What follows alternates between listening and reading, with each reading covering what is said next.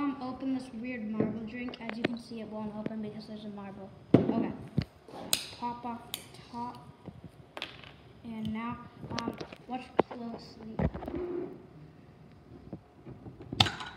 Now the marble's inside. Do you see that?